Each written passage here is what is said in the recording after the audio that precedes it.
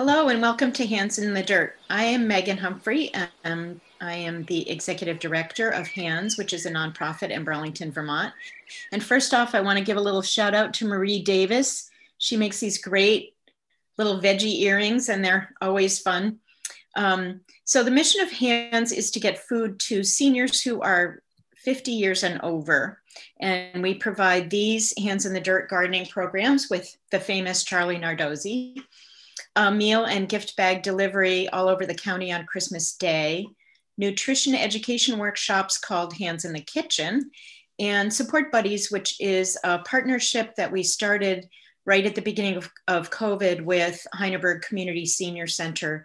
And that was to get meals and um, groceries to seniors who were isolated at home. And that program is continuing even now. And we would like to give our special thanks to AARP Vermont, CCTV Town Meeting TV, Gardener Supply, Hannaford, and Red Wagon Plants. They've all been hugely supportive of this program. So we're thrilled about that. So take it away, Charlie. Well, thanks for coming. We've been doing this since February, and I'm glad uh, people are still watching and still coming um, to these events, uh, to these monthly gardening talks that I've been doing. Uh, it's really encouraging and it's a great time of year to be out in the garden. It's been beautiful. It's been raining a lot recently. Um, things are growing, flowers, herbs, vegetables, and we're mostly going to be talking about vegetables today. So uh, without further ado, I'm just going to jump right into my talk about organic pest control. And particularly, we're going to be talking about um, insect control. And what I decided to do, since we are doing these on a, a monthly basis, is that I was going to break it down. So I'm going to talk about controlling insects uh, in the vegetable garden uh, this talk, and then next month in July, uh, I'll be talking about diseases in animals. That way, you know, the topics are so broad, and even even just taking the time to just talk about insects, uh, I can go on for hours. Uh, but at least this way we can kind of focus it a little bit um, and hopefully uh, get some solutions to some of your problems. So organic pest control for insects, you know, it, uh, the whole idea of organic pest control has really kind of gone through a, an evolution in time. You know, it was, uh, of course, in the early days uh, when there's a lot of chemicals around, people were just spraying chemicals indiscriminately uh, to kill any kind of pest they saw in the garden, whether it was uh, causing the problem or not. And then, of course, the organic movement really moved that into a more uh, reasonable and more logical direction so that um, we were more aware of what we were spraying and the effects of what was having in the garden and using sprays that were more organically oriented, meaning that they are derived from organic sources, uh, more directly organic sources. Um, and hopefully they didn't have as many side effects as the chemical uh, sprays that we were using. But now we're kind of in a, a, a phase, an, an, era where things are evolving yet again. And, and I think it's a really encouraging sign where we're looking at pest control um, and having a much more deeper appreciation of the ecology of our garden and the ecology of our yards and our landscapes and realizing that these things that we call pests, insect pests that are out there, are fulfilling a, a key and vital role in the ecosystem. And in fact, 99% of the insects you see out there in your yard, flying around on your plants and the lawn, wherever they are, are either benign or they're beneficial. It's really a small, small percentage of them that are the ones that are harmful that we're mostly concerned about. So the idea is that let's create an ecosystem, let's create a situation in our yards where nature can take care of some of this. We can do a little help to kind of encourage nature in different places, takes care of some of it too, and get away from this whole idea of spraying, period, meaning not using chemical or organic sprays it is a transition. So I'm not asking people just to go cold turkey with this, even though many people have and have done so successfully. And what I'm going to try to do in this talk is really uh, help us with a whole arsenal of ideas that will get us to a place of all the things we can do up to the point of actually spraying something. And I will mention some sprays too. I will not neglect to just talk about those a little bit as well. But really the focus is going to be on all the other things we can do to control insect pests that we may have um, in our garden. And this is not a new idea. It's called IPM or Integrated Pest Management. It's been around for decades. Um, and it is, again, evolving, like I'm saying, um, more so. But with IPM, there are a number of tenants that we want to do before we reach for the spray container or spray bottle. First of all, we want to have healthy plants. It's pretty simple and pretty logical and easy to understand. You know, the healthier the plants, the less likely they are to get attacked just like our bodies. You know, we keep our bodies healthy with good food and exercise and good company. Uh, what ends up happening is that we stay healthier. It's as simple as that. I'm going to run through these different IPM steps pretty quickly and then go into them in a more, little more detail here in a second. Um, we want to identify the problem. A lot of times people see something, some chewing damage on the leaves or something uh, stole a tomato, whatever it is, and we uh, quickly think it is some kind of insect pest. Uh, it is something that was out there chewing it. Or what we do is we see an insect on the plant and we see the hole and therefore we conclude, oh, that must have caused the hole. So the, the first thing we should do is really step back a bit and take a look at all the different uh, possibilities for what the problem could be. It could be a problem that is insect related, disease related, animal related, neighbor related, unfortunately, dogs running through the, the garden, that kind of thing, um, or weather related, you know, cold snaps, hailstorms, things of that nature, heat spells. You know, we just had a, you know, a heat wave a, a week or two ago uh, where temperatures were in the 90s and I noticed some browning on the tops of my pea plants because of course peas like cool temperatures and that was the heat stress or heat damage. There's nothing wrong with the plants. Uh, I was, we were doing a good job watering them and keeping them healthy. It's just, that's what happened. So identifying the problem is really a, a key step at the beginning before you decide to do anything about it. Then once you have identified it as uh, say an insect, then you want to understand about that insect, understand about the life cycle, understand about the habitat it likes, understand about what kind of things it eats and doesn't eat. Uh, so these can be ways where you can find what I call the chink in the army armor. You know, you'll see the life cycle of an insect and you can decide, oh, it's at this point where if I am diligent and I'm crushing eggs or picking larvae, whatever it is, I can really stop this whole thing from getting out of control. Uh, and then we can use cultural controls to do those types of things too. And I'll mention things like ro rotating crops and, and, planting the right varieties and things of that nature. Um, and then as we're getting a little more active, uh, these other things are not working, we can create barriers, excuse me, um, that would block insects from coming in, laying eggs, uh, or attacking our plants. We could use traps, whether they be uh, mechanical traps or pheromone traps to uh, reduce the population of them. And then finally, I will talk about organic sprays um, as a last resort and ways to approach that so that we don't harm the bees, the butterflies, and beneficial insects in the air and in the soil. So let's go into it a little bit more detail. Uh, healthy plants equal a healthy garden. It's as simple as that. And when I talk about healthy plants, certainly you want to have plants that are growing strong and, and uh, growing really lush uh, foliage on them, actively growing really strong plants. And the way to do that, of course, is to make sure you have healthy soil. And I wrote a book on no-dig gardening, which talks a lot about building healthy soil, the idea of layering different materials and then working with compost adding that compost material in there um, so that year after year, when you're looking at your garden, uh, you're continually building more and more soil on top. Uh, as that compost, it'll settle down and then you can continue building it up. If you can do that on, on a regular basis, uh, really building up that organic matter, you know, if you did a soil test, you should have somewhere between five and 10% organic matter, uh, which is always a nice thing to kind of know just to feel assured you're doing the right thing. Um, but other than that, on the soil test, unless it shows some extreme uh, deficiencies or excesses, I wouldn't worry too much about the other numbers that are there. It's really what you're looking at is that organic matter. Organic matter is going to help feed the soil, feed the microbes that are in there, um, make it a richer, healthier environment so those plants will grow stronger. So that whole idea of no-dig gardening based on my book that's out there, the complete guide of no to no-dig gardening, talks also about maintaining the beds and, and taking care of them going into the winter. But also, when I talk about a healthy garden, it's not just about keeping the vegetables that you have in there healthy. It's about creating a diversity of plants.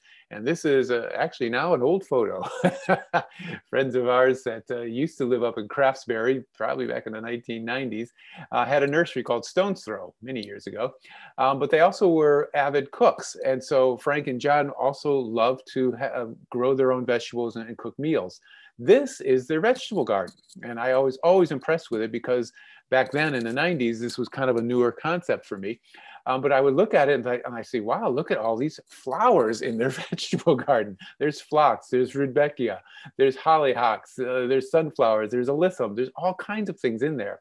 Not only does it make it more attractive to look at than just a traditional row by row vegetable garden, It also is attracting beneficial insects in, attracting beneficial creatures in, confusing some of the predatory uh, animals and insects that are out there. And so the garden is uh, easier to maintain and you get a better harvest from it. So the idea, and we've been doing this in our garden in Ferrisburg now for a number of years, of moving more flowers in, moving more herbs in. We even plant some shrubs now in our garden. The whole idea is to create more of a natural ecological habitat instead of just having row after row like farmers have to do because they're really looking for production uh, of certain kinds of vegetables. Diversity is key. So a healthy garden should be a diverse garden as well. And it encourages, like I was mentioning, insect diversity. And um, the idea with insects too is that it's good to have some of the harmful insects. You know, that might sound strange hearing that when you're talking about controlling pests in your garden. But if you have, for example, some aphids, well, that's going to encourage the ladybugs to come in.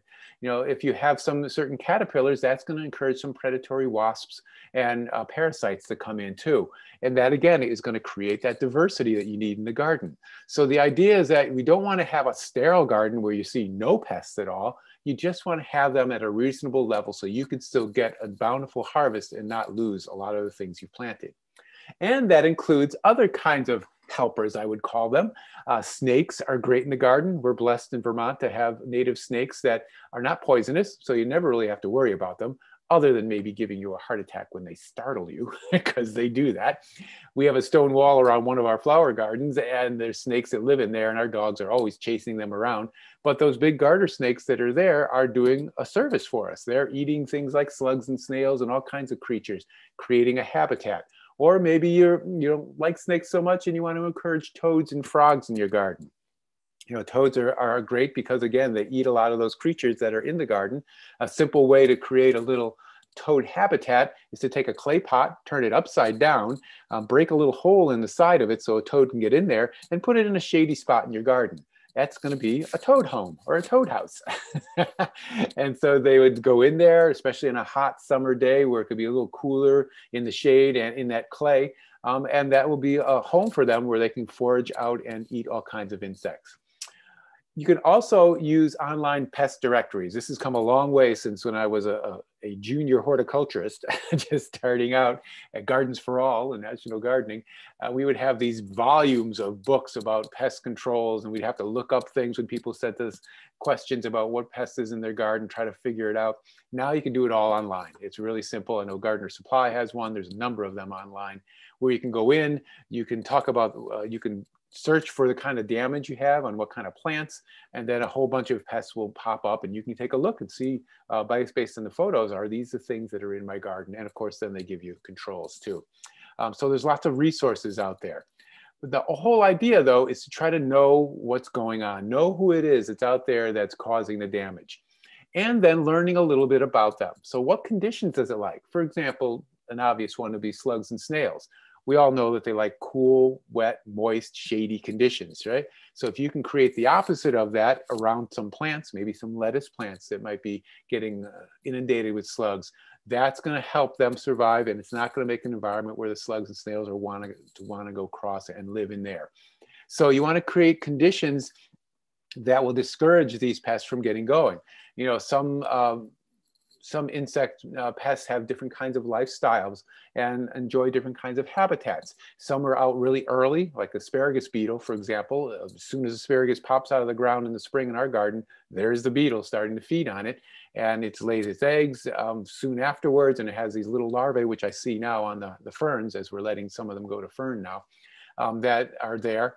Um, and you can just knock those off or you can control them, but it's all very early in the season versus something that might be later on, like squash bugs, for example, where the population builds.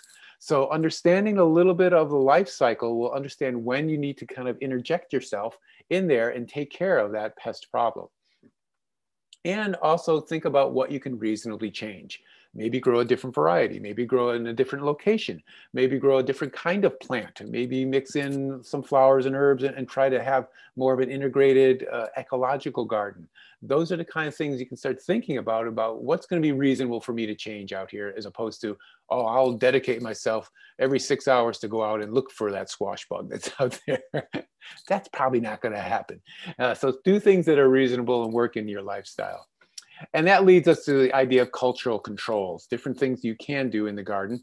One of the easiest things, especially in a small garden, since many of us have small raised bed gardens or container gardens, um, sanitation is an easy thing to do, and, and that especially is effective for something like the leaf miner that you see on beets and on Swiss chard in particular. You'll see it on kale and in other plants. They cause uh, the dying of the leaf. You can see up there in the left-hand corner, but also you see that tunneling that's in the leaves too. That's a, a telltale sign. Simply go through and just snip off those leaves periodically and compost them or get rid of them. Um, by doing that, the plant will, you know, beets and Swiss chard in particular are very aggressively growing plants. They'll just replace those leaves. Um, and, you know, just by cleaning up some of the plants like that, you can reduce the population of insects. Um, if you have a whole row of cucumbers and a couple of them are looking kind of wilty, like they might be diseased, you might want to just yank them out, especially when they're young. That'll give room for the other ones to fill in. And we probably end up all planting more than we really need. I know I do. Every year, I, I swear I'm not going to plant as many zucchini and summer squash. And then I still look out there and there's five plants. so uh, we can sacrifice some of our plants through sanitation to prevent the, the problem from getting worse. Crop rotation is something you probably have all heard of too. It's a, a big thing for farmers for home gardeners who have a small garden, it might be a little problematic because you don't have enough space to do a lot of this stuff. Uh, but if you do have enough space where you have a number of beds, like we're just looking at here in this little diagram, um, it's good to not plant the same family of, of plants in the same spot for three years. So for example, if you have tomatoes in a bed one year, the next year you don't want to plant tomatoes or peppers or potatoes in that bed. You might want to plant broccoli and Brussels sprouts and cauliflower. Um, and then the year after that, you plant something different, like peas and beans, for example. The year after that, maybe you go back to tomatoes, or if you can, do another, do a fourth year uh, of something like leafy greens or root crops. The idea is that you don't want to have the insect or disease populations building up in the soil that are specific to those plants. If you do this, it's going to really help. Now, if you have a small garden where you don't really have the room to do this, what you would probably do that would be effective is, of course, adding that compost that I mentioned earlier every year, but also, just like I was talking about integrating flowers and herbs in the garden, mix it up. You know, don't just plant your tomatoes and then just leave, you know, mulch underneath them. Throw a bunch of greens underneath them. Throw some radishes underneath them. Throw a bunch of plants that'll mature quickly, but also create an environment that's a little bit different than just having all tomatoes or all peppers, right? And what that does is that it creates that balance in the ecosystem because those other plants are going to attract other organisms to that soil, which will help balance out the disease and insect um, populations that are in your soil. So that's kind of one way to get around the whole idea of having to rotate uh, plants is by planting a diversity of plants in that bed. You can also plant resistant plants. So a good example, a classic example is for squash vine borer. So if you want to grow winter squash like acorn squash or buttercup squash or Hubbard squash or pumpkins, uh, you often will get squash vine borers on them. But if you don't want to have to mess around with that and you like butternut squash, grow butternuts because butternut squash does not get the squash vine borer. It might here and there, but for the most part, it's pretty resistant to it. Another way you can use this, and I'll talk more about companion planting as we go along, is use uh, those other squashes as what we call trap crops. So if you have butternut squash, maybe on the other side of your garden or somewhere else, grow some Hubbard squash because of squash vine borers love Hubbard squash. They'll be laying their eggs over there. They'll be tunneling through the, the stems over there. When it gets to be a, a big disaster in the Hubbard squash area, you can either come through uh, with a knife and cut out the squash vine borer or just rip out the plants and get rid of them. What it's done though is deflected their attention while your other squashes are able to grow and mature. So planting resistant plants is a great idea. And using things like row covers and one that we really like to use is called micro mesh. And what's nice about these barriers is that it prevents insects from laying the eggs in the first place. So if you have cabbage worms, if you have Colorado potato beetles, if you have those leaf miners that we were talking about, a little fly lays those uh, eggs on the leaves, you can cover um, 90% of the vegetables you grow with a, a, row cover or a micro mesh, kind of a window screen like material or tools, another material you can use. And the plants will be fine because most of them are either wind pollinated or we're not eating the fruits, we're eating leaves or roots. The only group, of course, you have to worry about with this would be the, the squash, cucumber, melon family that needs cross pollination from bees. But for everything else, for example, our brassicas, uh, broccoli and Brussels sprouts, we grow them under hoops and that's where they live the whole summer long. We never take them off. And we stop, we don't have to spray for cabbage worms anymore and it's fine.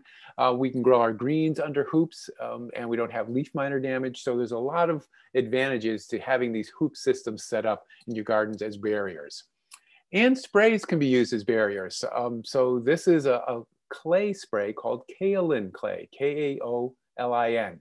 Kaolin clay is like a potter's clay. You spray it on the, the leaves and it creates a dusty environment that the insect doesn't like. So we do this every year with our grapes, just like this researcher has done here, uh, to keep the Japanese beetles off. And you see that the land, Japanese beetles will land on the grapes and they'll mess around a little bit, but they won't feed and they won't hang out very long because they don't like the dusty environment. So that's a simple barrier that you can apply. It does make your plants look white, so you do have to accept that for part of the summer, um, but it, uh, it is pretty effective. Um, and there are garden traps. So as we kind of get more proactive in there beyond barriers and cultural controls, we have garden traps like the yellow sticky trap. Now the yellow sticky trap is simply a yellow card that has a sticky substance called tanglefoot on it. And for this, it's great for things like cucumber beetle uh, because the cucumber beetles are att attracted to the color yellow. Works for aphids and thrips too. Uh, but when they land on that card thinking it's a flower, they get stuck and they die. Now this will not take care of all of your cucumber beetles, but again, it's one of those pieces that you will apply to help keep a population in check um, so that you don't have to resort to doing all kinds of sprays. Um, so you want to hang this card right above the cucumber plants or the melon plants or the squash plants where you might have cucumber beetles right now. Now is a great time to do it because you know, you know they're attacking them. And, and that way you'll be able to reduce the population. And then finally, there are organic sprays, whether they be homemade sprays or commercial sprays. I'll, I'll mention those as we go along too, to give you a few ideas um, if you really have to resort to them, what to do and what to use. So um, and of course, with these sprays, uh, I also want to really focus on the idea that they should be targeted sprays as much as possible. And the, classic, of course, is BT, Bacillus thuringiensis. It's a bacteria that kills uh, Lepidoptera caterpillars. Lepidoptera caterpillars are the ones from moths and butterflies. So if you have cabbage worms, this works really well. But what else is in the Lepidoptera family? Yes, uh, swallowtail butterflies, sulfur butterflies, monarch butterflies. So you have to be careful about where you spray it because you could be killing those at the same time. So targeting the sprays to the pest and the plant that you have is really important. You know, it used to be the idea that, well, if it's an organic spray, it should be safe. But many plant-based organic sprays, like pyrethrums, for example, um, are broad killers, meaning that they kill a number of different things. There's another one out there called spinosad. It's a bacteria, kills a number of different things, including bees at times. So you have to be very careful about using these. And if you are going to use them, use them towards the evening, use them on plants that are not flowering. So you're not going to harm uh, the bees and beneficial insects that are out there. Uh, because often when they've dried a little bit uh, by the next morning, they're not as toxic to the beneficials. Um, but again, it, it is something that we have to kind of change our thinking around this and that thinking just because it's organic doesn't mean it's safe. Um, it is a, still a pesticide and it still does kill uh, many different organisms, both ones we see and the microbes that we don't see. So let's go through then uh, some different plant problems and some different solutions. So aphids, um, I mentioned those earlier that you know they love young foliage, young foliage on your basil plants, on pepper plants, uh, you know, on new plants that are out there, and they reproduce like rabbits. In fact, I think we should call, say rabbits reproduce like aphids because the aphids do a better job of it. Uh, you get a small population turning into a large one literally overnight. Now, the aphids will draw in ladybugs, so it's good to be able to identify not only the adult ladybug, but the what we call the aphid lion, which is the uh, larval form of the ladybug, which actually does more eating of the aphids than the adult would. Um, so having a small infestation is okay, but one of the best ways to control them if it starts getting out of hand is with a spray of water. So simply uh, take the leaf or the branch or the stem that you have up in your hand, get your nozzle in the other hand, and it's blast it with some water. You will blast the aphids right off into the lawn or into the garden. They're not going to climb back up again. And that will slow it down. Again, it won't get rid of all of them, but that's okay because it's okay to have some out there. We just don't want to have an overwhelming amount. Then there's a tomato hornworm. This is one uh, probably no one's thought about. Well, I have, but a lot of people won't think about it until July. And then all of a sudden they'll come back from a weekend away and they'll look at their tomato plants and all the tops of the tomato plants look like someone went in there and munched on them. And the first person we blame, of course, is the deer, because everyone blames deer for everything. Um, but if you look closer, chances are it's a tomato hornworm, especially if you see uh, the leaves are gone, some of the fruits, even green fruits, are chewed on, and there's these black, kind of blackish green droppings on the leaves. That's the frass or the, the poop from the tomato hornworm. So this pest comes in, um, migrates in from the south usually, uh, and it is uh, usually July or so when it happens. Uh, it's only one generation a year, thankfully. You go further south and they have multiple generations a year. Um, but they do come in and they eat fast and they grow fast. And when they get this size, they can just really devour a whole branch of tomato leaves overnight. But not all of them are harmful because if you see a tomato hornworm with these white little protrusions on them. Those are the uh, larvae of the braconid wasp. And the braconid wasp lays those on the uh, tomato hornworm and they hatch and they literally, it's kind of like one of those alien movies, uh, the, they literally tunnel into the tomato hornworm and use that as a host as they're getting bigger and bigger. Eventually they pupate and turn into adults and fly away. So if you see those white protrusions on your tomato hornworm, that's a good thing. Leave them there, don't worry about it. I mentioned I was going to say a few words about companion planting. Well, one of the companion plants uh, that works pretty well is growing basil under your tomato plants. In fact, grow a whole bunch of basil. Not only is it going to mix up the soil microbe thing that I mentioned before with crop rotation, what uh, researchers have found is that basil emits enough fragrance into the air, enough pheromones into the air to confuse the tomato hornworm from laying its egg on the tomato plant. And that's really how a lot of this companion planting works. It's not like it repels the insect, it masks the scent of the desired plant that they're looking for. So there's been um, a lot of research and there's a great book out there called Plant Partners, if you really want to dive into this whole idea of companion planting. And Jessica, who I know, Jessica Walliser, did a great job doing research to find out what's, what partnerships, what companion planting schemes are the best ones to use in your garden to keep the insects, and she also talks about diseases away, based on science, based on scientific research from around the world. And she compiled it all into this one book, and that is one of the ones that's in there. It's all about growing basil among your tomato plants to confuse the tomato hornworm. Uh, so that's a good one to look for. Potato beetles, whether it be the Colorado potato beetle or the lesser potato beetle, uh, these are, of course, big problems on potatoes, but also eggplant. If you grow eggplant, you might see this problem too. You very easily can recognize the adult potato beetle. It's pretty descript, it's big enough to see. Um, and what it does is it lays these orange colored legs on the back sides of the eggplant potato leaves in clusters. And then those eggs hatch into those gooey looking little red larvae. And again, the larvae, you know, is an active growth stage in any of these uh, types of beetles and caterpillar families. So those are the ones you really want to avoid because they're the ones who are going to do the most damage. So the weak link in this kind of chain, you might say, that I was talking about earlier, knowing when to insert yourself is when you see this. So by simply going out, starting now, flipping over some of the leaves, your potatoes, you don't have to get meticulous about it. Uh, you can just, you know, choose different leaves around there. Um, and also look for that adult flying around too. Look for those orange clusters of eggs. When you see them, squish them.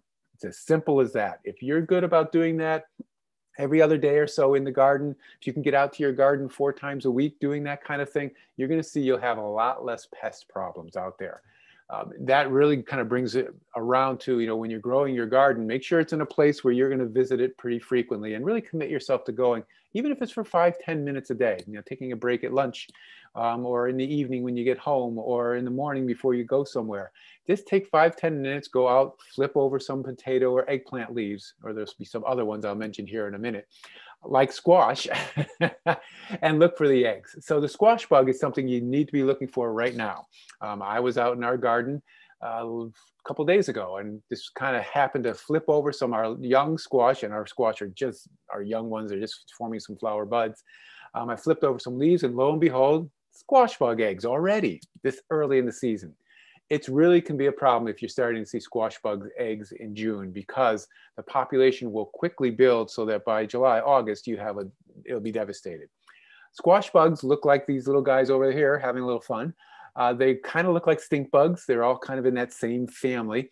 Um, and they lay clusters of copper colored eggs on the bottom side of your squash leaves, melon leaves, uh, zucchini leaves, any of those family uh, of plants leaves. Flip them over and you'll see them. They tend to be between the veins, right uh, clustered together. Very obvious, very bright, uh, really easy to see. Just squish them, or if you don't want to do that, take a scissors and cut them out. If you can do that, like I was saying with the potato beetle, you know, every other day or so during the, the growing season, just flipping over the leaves, checking for the squash bugs, looking for the adults, and staying on top of the eggs, you will not have to spray and you won't have that many squash bugs. You won't get them all. There'll be some that make it. But if it's August, September, and you've got a few of them wandering around causing a little damage, I wouldn't worry about it. So squash bugs are something that you have to kind of really be alert for right now. Squash vine borer will be happening soon too. That's another one you'd be alert for. So I talked earlier about you know, different varieties of plants that you're growing and uh, growing butternut squash versus a Hubbard squash and, and trap cropping idea, that works well for those. Uh, but the squash vine borer uh, for all other kinds of squashes, what happens is that um, it lays its egg at the base of the plant, at the base of the stem, um, and then it hatches into this caterpillar that you see there that just kind of tunnels out through the plant. Now, one way to control it is to use those barriers I talked about, those covers. Just cover your squash plants right now um, if you've had squash vine borer problems, because until they start flowering and setting fruit, they're really not going to need that bee, bee pollination uh, to be happening. Uh, so you can keep them covered. Once they start flowering, then you can either wrap those stems. Um, I've seen people wrap them with aluminum foil to prevent the egg laying uh, that's going on there. Or you can plant something like nasturtiums. Now going back to the companion planting idea. Uh, those same researchers or different researchers at different universities found that by planting nasturtiums around zucchinis and summer squashes, not just one or two plants, I'm talking about trailing nasturtiums that cover an area. If you can plant that many nasturtiums and really get them covering an area, you're going to see that you're going to have less squash vine borer and squash bugs. Because just like with the basil and a tomato hornworm, there is a pheromone scent that the nasturtium puts off that confuses the fly that wants to lay the egg that turns into the squash vine borer. So trying something like that would be kind of cool in the garden. Plus nasturtiums are great to look at and great to eat. Cucumber beetles, another one we've seen already in our garden, uh, another one's causing some damage out there. Uh, these, you can see them as yellow and black striped or yellow and black dotted uh, little beetles that are elongated. Um, they will chew on uh, seedlings when they first come out of the ground and can kill them. Um, if you have seedlings out there and you see a lot of damage on the leaves, you're probably seeing them. They're, they're hard to trap and hard to, con to uh, control uh, because when you try to squish them, they just dive into the ground and then burrow into the soil. So they're hard to get that way. But you can use that yellow sticky trap I mentioned earlier. That will help reduce that population. Um, you can also use these dusts, and uh, you know this is, used to be that people would use Sevin dust and do this to their plants, and I would always cringe because I don't know how many other things they're killing in the process. This is not Sevin dust. This is that dusty material I talked about, kaolin clay. There's another material you can use that's organic that works called diatomaceous earth. Now this one uh, will kill a whole bunch of things. You know, it's always interesting on these bags. They tell you all the things it kills that are harmful insects, you know, beetles and slugs and millipedes and cluster flies and fleas and, and all these other kinds of things. And it's true, but they also kill beneficial insects. So I would use this again as a more of a last resort thing uh, to spray that. I would try the clay first, uh, but the diatomaceous earth does work because it's a dusty material that the cucumber beetles really are not gonna like. Um, you do re have to re, you have to reapply this kind of material on the ground after a heavy rain like we just had. Flea beetles, another one that's if you put out little seedlings earlier this spring, or if you still have them out there and you're wondering why they got all these shotgun-like holes in them, if you look closely, you'll see these little black beetles that hop. That's why they're called flea beetles. And uh, these flea beetles can really take down an eggplant seedling, or they love radishes and bok choy, for example. And the way to take care of them is to uh, use a trap crop, just like we were talking before. So radishes and bok choy in particular, or any of those mustard greens, flea beetles go crazy over those. So if you have eggplants, if you have broccoli planted out and you're getting flea beetle damage or you're concerned about the flea beetle damage, next to them or close by, plant some radishes and bok choy. They'll go over there and either you can just let them eat the radishes and bok choy or you can try to control them there, by pulling the plants out or, or, or squish them when you get a, a chance to be able to do that. That's a way to kind of reduce the damage on the more desired kind of plants. Cabbage worms I talked about, you know, the thing that we use is uh, the floating row cover and Reemay to prevent the cabbage uh, worm moth or butterfly, excuse me, uh, to, from growing, uh, from laying its eggs. This is the, the white butterfly, often has a black dot on its wing that's flying around. When you start seeing that, you know the cabbage worms are probably already on your plants.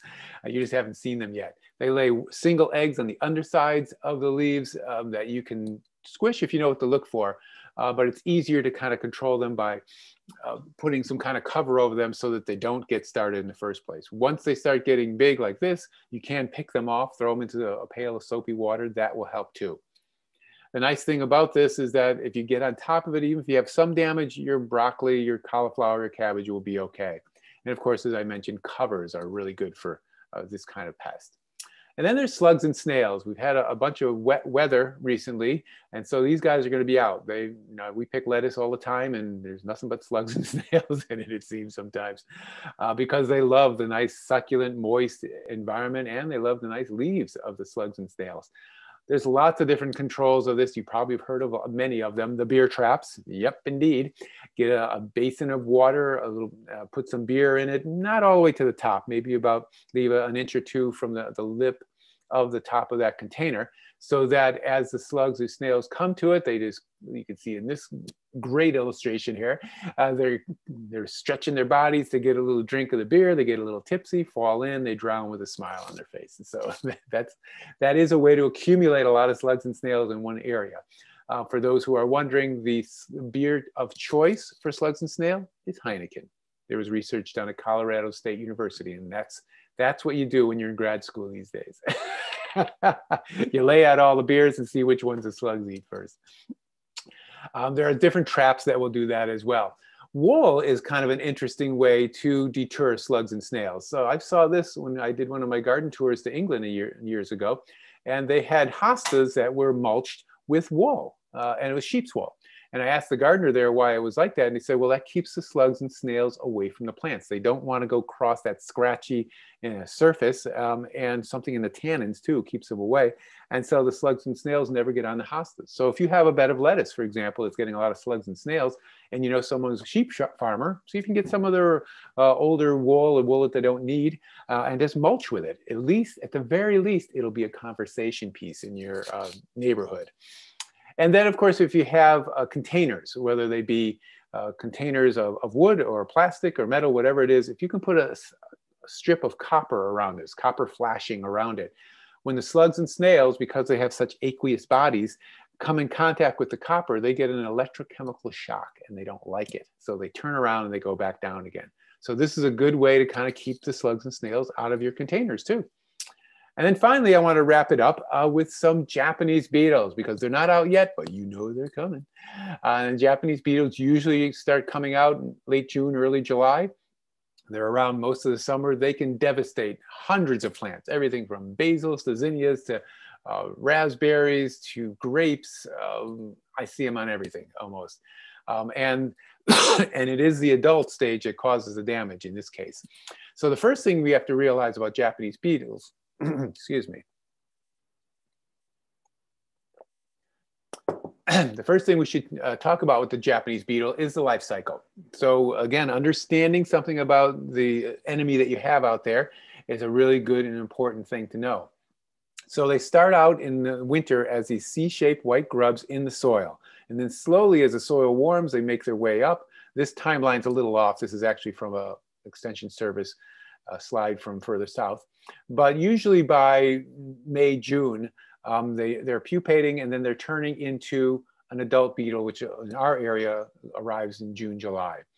and that's where all the damage is caused. Now, the adult beetle, all they live to do is eat and mate and lay eggs. And so that's what they're doing in the summer. Those eggs hatch um, in August or so, and then you see that C-shaped little grub that's there right on the surface of the soil. And then eventually, as it gets colder, they tunnel back down uh, deeper in the soil. So the time to control, or the, the stage to control Japanese beetles is the grub stage. And the time to do that is now if you can get a product called beneficial nematodes, and I'll talk a little bit more about this with the next slide.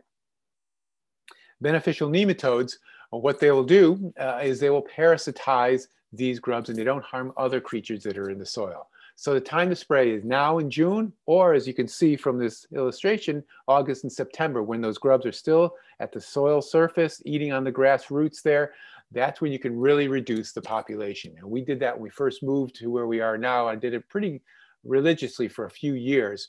And we, we still have Japanese beetles, they come in every year, um, but we don't have the devastation on our roses and other plants from the Japanese beetles. So different controls for the adults, you can certainly just hand pick them. Uh, my wife Wendy goes out in the morning with a pail of soapy water and she very diligently picks them off when they're on the grapes and other plants and drops them in there. That's good if you have a small planting of things and you want to protect them. You can use the Japanese beetle traps, those bag traps that you see, but the key is to place them at least 200 feet away from your garden and preferably upwind so that when the wind blows, mostly from the south this time of year, uh, the Japanese beetles are flying in on that wind, they're going to hit the trap before they hit your plants. Don't plant, don't put the trap right next to the plants because then they just go to the plants and they don't bother with the trap. I've seen so many people do that. And then of course, the, the person on the bottom is spraying those beneficial nematodes, which is something you would spray now. You can get a, a special sprayer hose end sprayer that you can uh, spray these. They're microscopic. You're not going to see them. Uh, you just squeeze them out into a pail of water, put the water in the sprayer, spray the lawn areas, spray the areas where the Japanese beetles were feeding. That's where they're going to be laying the eggs, and that's where the grubs are. and you do that, and then afterwards, you want to water them in really well. By watering them in really well, um, that will get those nematodes down in where the, the grubs are, and it'll parasitize and kill them.